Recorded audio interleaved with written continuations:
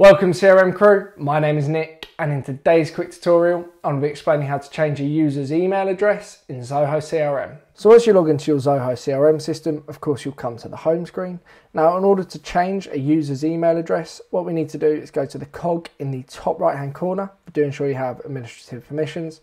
So press the cog and then from here you want to go to users and control and then under this tab just go to users. So press users, and then as you can see here, we'll have a list of all the, all the users inside of the Zoho CRM system. Select the user you'd like to change the email for, and then head over to their um, page. What we need to do here is press the pencil button by the name of that user. So press the pencil button here, press that, and then we'll get the drop down menu as we can clearly see. And then we want to go to the email, the email field, and then press the pencil button on the right hand side of the email field. Press that and it's going to take you to the Zoho accounts, um, creating a new tab. And then as you can see here, we have our email addresses. Now we firstly need to add a new email address before we can change it over.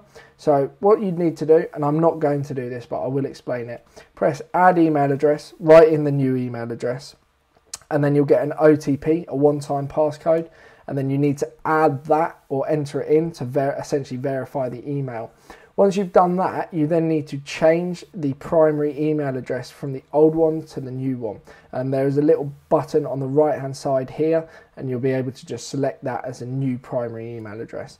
Once you've done that, you can then go ahead and delete the old one, and that will automatically change for your Zoho account. And once, once you've done that, you don't need to press save or anything, it will have updated automatically and you can there go on and start using that as your login information, etc.